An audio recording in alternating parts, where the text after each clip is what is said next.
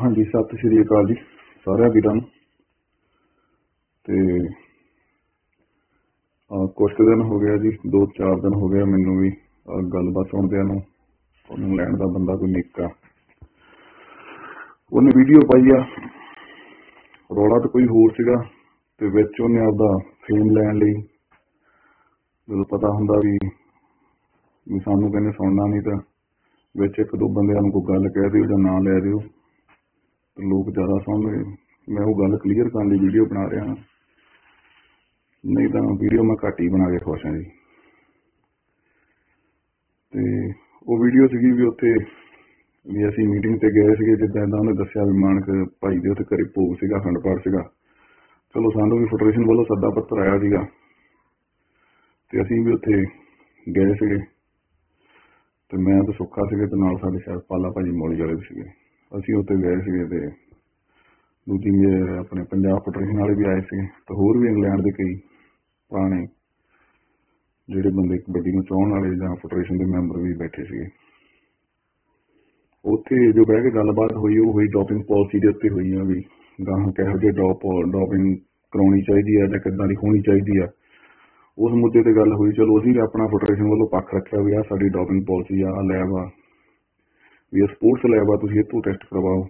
ਜਾਂ ਤੁਸੀਂ ਇੱਥੋਂ ਨਹੀਂ ਕਰਾਉਣੇ, ਤਾਂ ਇਹਦੇ ਵਰਗੀ ਕੋਈ ਲੈਬ ਜਿਹੜੀ ਸਪੋਰਟਸ ਹੋਵੇ, ਜਿਹਨੂੰ ਸਪੋਰਟਸਮੈਨ ਨੂੰ ਜਿਹਤੇ ਯਕੀਨ ਹੋਵੇ,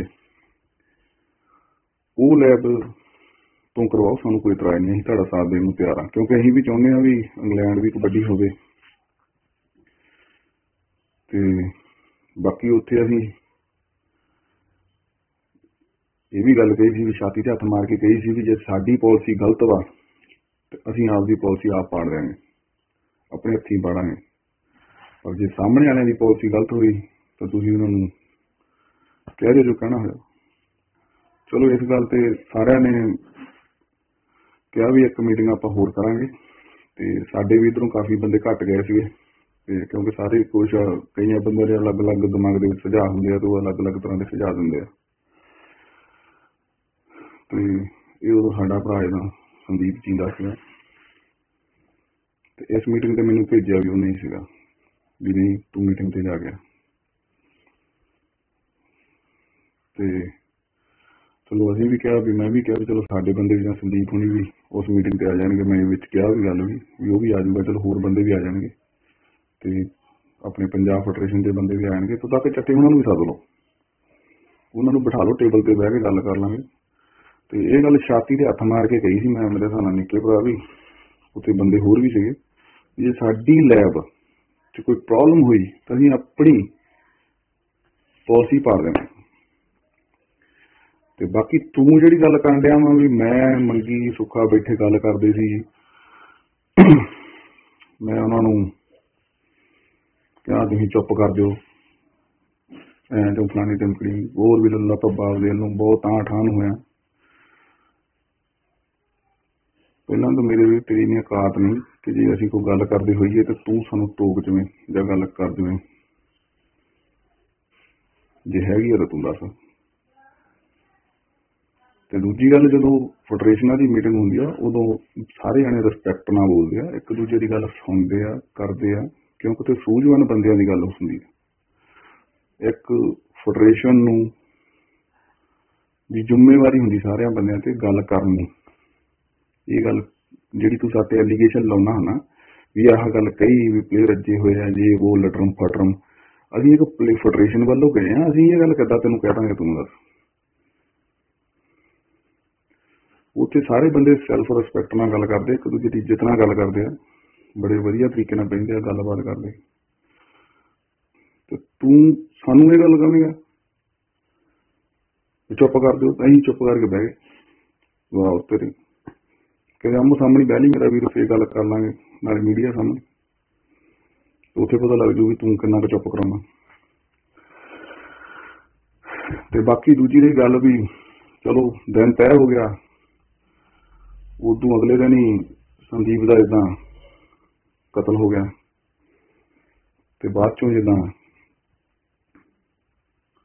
ਸਾਡੇ ਲਈ ਜਿੱਦਾਂ ਉਹ ਦਿਨ ਸਾਡੀ ਫੈਡਰੇਸ਼ਨ ਲਈ ਜਾਂ ਸਾਡੇ ਲਈ ਸਭ ਤੋਂ ਮਾੜਾ ਦਿਨ ਜ਼ਿੰਦਗੀ ਦਾ ਅਸੀਂ ਕਹਿ ਸਕਦੇ ਹਾਂ ਚੜਿਆ ਸੀਗਾ। ਚਲੋ ਮੈਂ ਹੁਣ ਇਹ ਗੱਲ ਕਰਦਾ ਇੱਧਰ ਤੇ ਤੇਰੀ ਗੱਲ ਦਾ ਹੀ ਜਵਾਬ ਦੇਣ ਲੱਗਾ।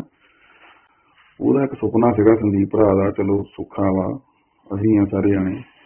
ਹੋਰ ਫੈਡਰੇਸ਼ਨ ਸਾਡੀ ਦੇ ਜਿੰਨੇ ਵੀ ਬੰਦੇ ਚਲੋ ਮੈਂ ਦੋ ਅਸੀਂ ਦੋ ਦੇ ਨਾਂ ਲੈਤੇ ਬਾਕੀ ਸਾਰੇ ਬੰਦੇ ਜਿੰਨੇ ਵੀ ਪਲੇਅਰ ਆ ਸਾਡੇ ਸਾਰਿਆਂ ਦਾ ਇੱਕ ਸੁਪਨਾ ਸੀਗਾ ਵੀ ਆਪਾਂ ਯਾਰ ਇਸ ਚੀਜ਼ ਨੂੰ ਇਦਾਂ ਕਰਨਾ।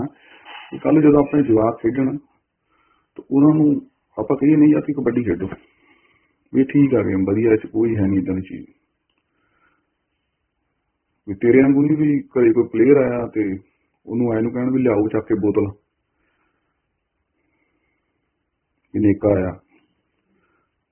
ਵੀ ਬੋਤਲ ਲਿਆਓ ਅਸੀਂ ਇਹ ਚਾਹੁੰਦੇ ਵੀ ਜੇ ਕੋਈ ਪਲੇਅਰ ਕਦੇ ਘਰੇ ਜਾਵੇ, ਅਗਲਾ ਕਹੇ ਨਹੀਂ ਬਈ ਜੂਸ ਲਿਆਓ, ਦੁੱਧ ਲਿਆਓ ਪਲੇਅਰ ਆ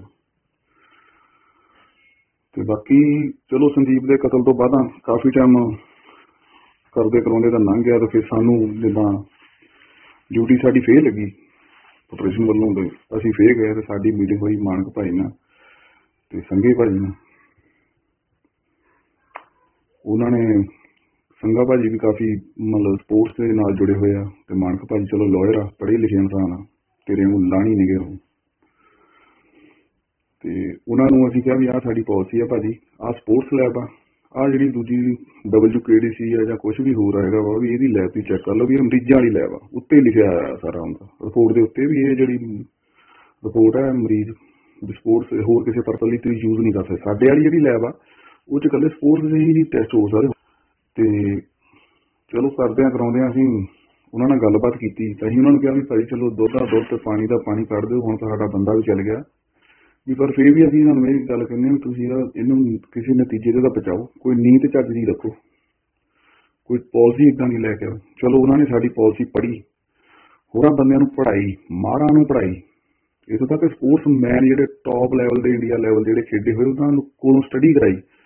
ਜਦੋਂ ਉਹਨਾਂ ਨੇ ਮੋਹਰ ਲਾਈ ਵੀ ਹਾਂ, ਇਹ ਪਾਲਿਸੀ ਇਹਨਾਂ ਦੀ ਸਹੀ ਆ, ਇਹ ਲੈਬ ਇਹਨਾਂ ਦੀ ਬਿਲਕੁਲ ਸਹੀ ਆ, ਫਿਰ ਇੰਗਲੈਂਡ ਫੈਡਰੇਸ਼ਨ ਨੇ ਉਹੀ ਮੇਰਾ ਵੀਰ ਲੈਬ ਅਡਾਪਟ ਕੀਤੀ। ਚਲੋ ਪਾਲਿਸੀ ਉਹਨਾਂ ਨੇ ਆਪਦੇ ਹਿਸਾਬ ਨਾਲ ਜਿੱਦਾਂ ਵੀ ਉਹਨਾਂ ਨੇ ਬਣਾਈ ਆ। ਤੇ ਇੱਥੇ ਪਤਾ ਕਰ ਲਈ ਮੇਰਾ ਵੀ, ਜਿਹੜੇ ਇੰਗਲੈਂਡ ਟੈਸਟ ਹੁੰਦੇ ਆ, ਉਹ ਕਿਹੜੀ ਲੈਬ ਤੋਂ ਹੁੰਦੇ ਆ? ਬਾਕੀ ਕਿਸੇ ਤੇਰੇ ਭੌਂਕਣ ਨਾਲ ਕੁਛ, ਇੱਥੇ ਹੋ ਨਹੀਂ ਜਾਣਾ, ਜੋ ਅਸੀਂ ਕੀਤਾ, ਚੰਗਾ ਵਧੀਆ ਕੀਤਾ, ਜਿਹੜਾ 20 ਸਾਲਾਂ 30 ਸਾਲਾਂ ਚ ਰੌਲਾ ਪਾਉਂਦੇ ਸੀ, ਨਹੀਂ ਹੋਇਆ, ਇਹ ਹੋ ਗਿਆ, ਜੋ ਉਹ ਹੋ ਗਿਆ, ਅਸੀਂ ਉਹ ਪਾਲਿਸੀ ਬਣਾਈ ਮੇਰਾ ਵੀਰ, ਜਿਹਦਾ ਕੋਈ ਤੋੜ ਹੀ ਹੈ ਨਹੀਂ।